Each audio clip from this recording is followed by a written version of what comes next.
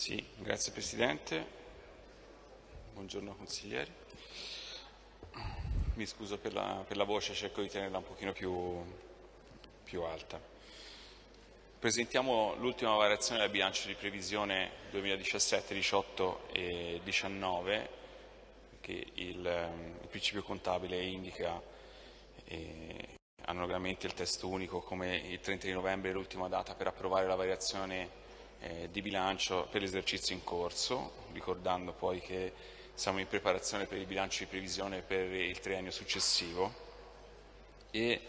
eh, mi preme sottolineare che in questo momento qui, visto che abbiamo eh, eseguito un'alta variazione di bilancio durante il mese di ottobre che ha risistemato eh, alcune criticità che erano presenti sul bilancio di previsione del 2017, questa è una variazione di bilancio che eh, mantiene il saldo di finanza pubblica, anzi lo migliora per l'annualità 2017 e eh, lo rettifica, seppur di poco, per l'annualità 2018 e 2019, è una variazione conservativa eh, che soddisfa tra le altre cose anche i requisiti del, dell'equilibrio di finanza pubblica, soprattutto sul 2017, e viene eseguita a seguito di quelle che sono le criticità, come voi avete visto leggendo la variazione, in merito agli accantonamenti al fondo passività potenziali che sono stati occorsi eh, per adeguare le poste di bilancio nel 2017. Da ricordare e eh, da notare nella variazione eh, soprattutto le maggiori entrate che sono state certificate dalle strutture capitoline, quindi dai dipartimenti in particolare quello del Dipartimento delle, delle Entrate e le ricordo perché sono sostanziose. Eh, abbiamo IMU arretrati per 39 milioni 817, ICE arretrati per 9 milioni 559, addizionale IRPEF arretrati 1 milione 964, canone per l'installazione dei mezzi pubblicitari 6 milioni 253, diritti di segreteria di atti urbanistici edilizi, edilizi per 2 milioni 580, COSAP permanente e temporanea 6.616.822 e tasi arretrati 1.189.945,72 e queste sono le maggiori entrate che... Silenzio in aula per favore, consiglieri e cittadini presenti, netto... cortesemente. Prego Assessore. Grazie. Al netto dell'accantonamento obbligatorio in base al, ai parametri stabiliti dalla legge di bilancio per il Fondo Crediti di Dubbia Esigibilità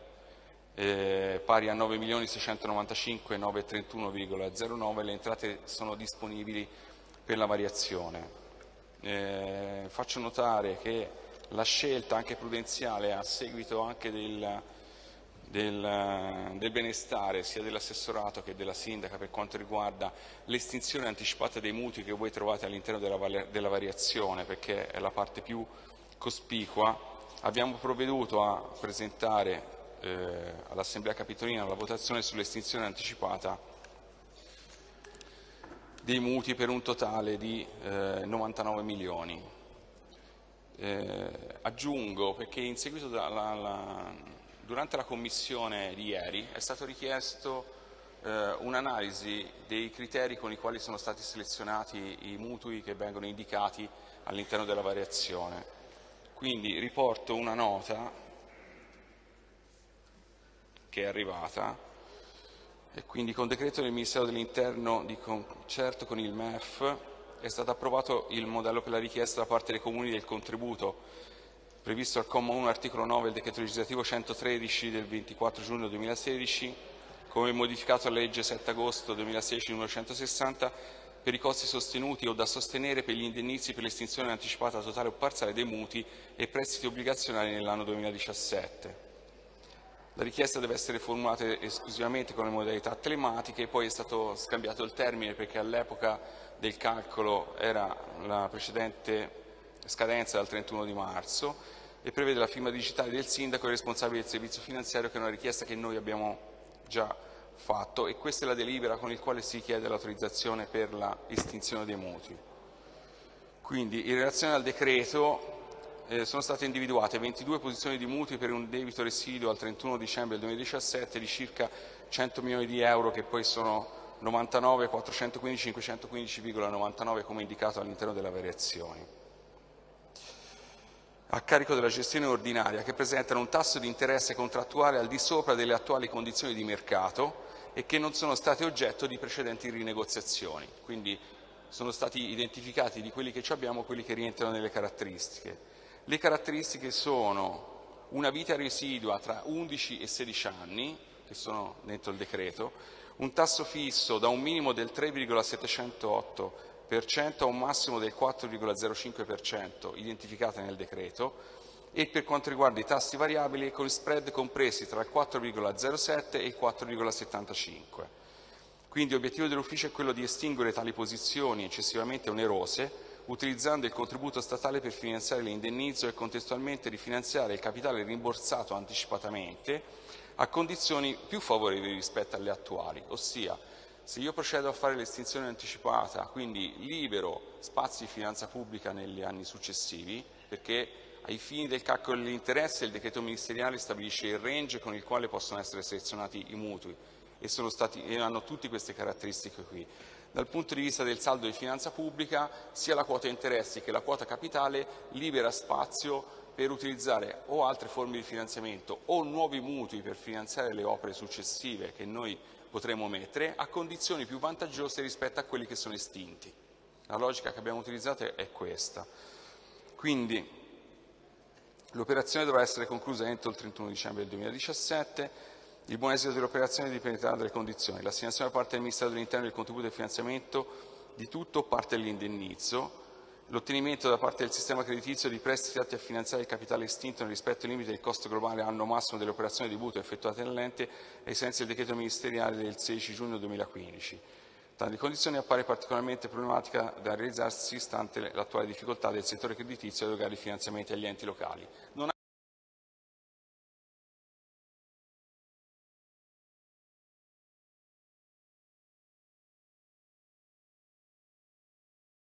a caso noi abbiamo utilizzato l'avanzo di amministrazione solo per liberare spazio e avere la possibilità negli anni successivi di applicare avanzo senza riaumentare l'indebitamento. Questa è la prima fase dell'operazione di estinzione dei mutui e c'è eh, allegata, poi magari la metto a disposizione dei consiglieri, anche la tabella eh, con l'identificazione dei mutui e quindi anche il debito residuo, il debito originale, eh, la rata, il tasso, la vita residua e eh, la penale. Quindi la richiesta, penso, della consigliera Montella eh, può essere esaudita con questo, però la metto a disposizione così la possa verificare in merito alla, alla scelta che è stata fatta.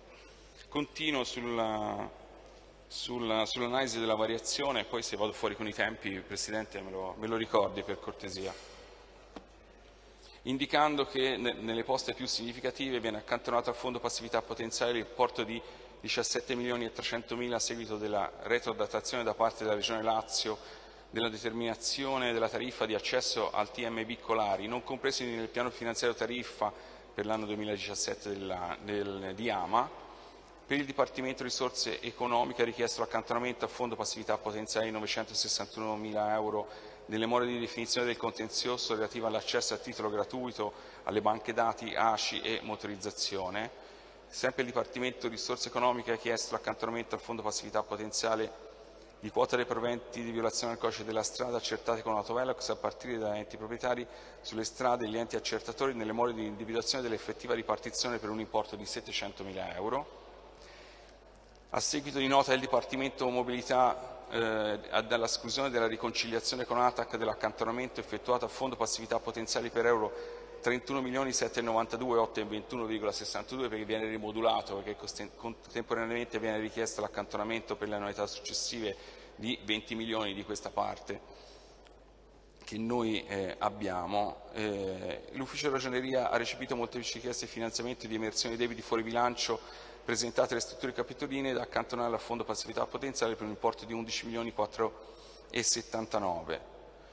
Le altre strutture capitoline hanno richiesto stanziamenti di spesa per 39 milioni 751 relativamente al 2017, 200 mila euro per il 2018 e 2019, finalizzate a garantire l'ordinario funzionamento dell'amministrazione e la remunerazione di situazioni potenzialmente atte a recare pregiudizio al patrimonio dell'ente, la manovra produce effetti anche per il 2017, 2018 e 2019 e l'accantonamento a fondo crediti di pregibilità l'avevo già indicato. Questo è il parere, questa è la variazione.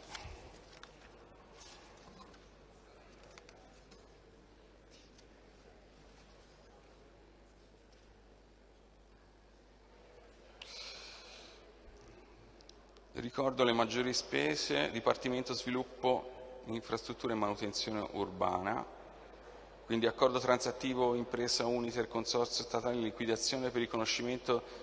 di riserve relative all'appalto per l'allungamento della via Tiburtina per 14 milioni e 500 mila, integrazione delle utenze elettriche per 10 milioni e 100, integrazione delle utenze idriche per 7 milioni, integrazione del contratto di servizio illuminazione per 4 milioni,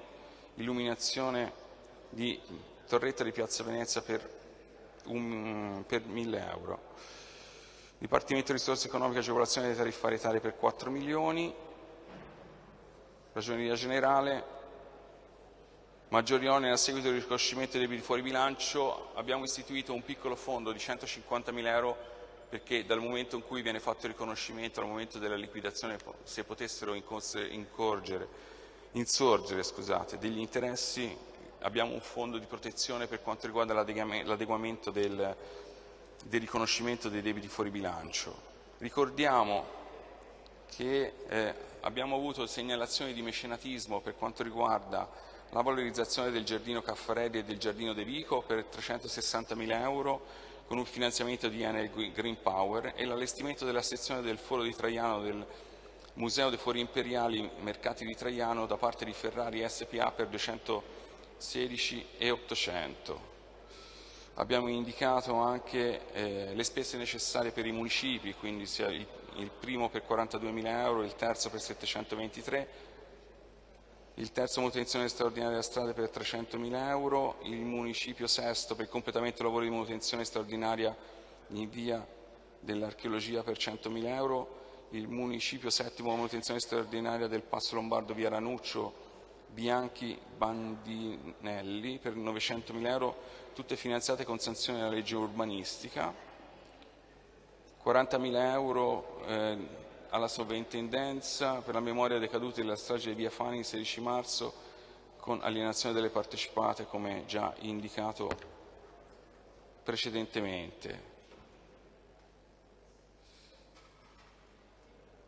Per quanto concerne il Dipartimento di Infrastrutture e Manutenzione Urbana, segnalata emersione di ulteriori debiti fuori bilancio per un importo di 13 milioni 611,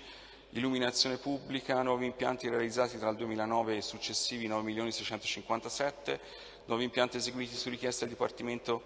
e periferie 3 milioni 896 825, impianti speciali di scuole ed uffici 19 mila euro, impianti antifurti Scuola Paolo Biocca, via Galvani 4-6 per 15.000 euro, impianto artifurto, scuola di via Paterni per 23.000 euro. Grazie.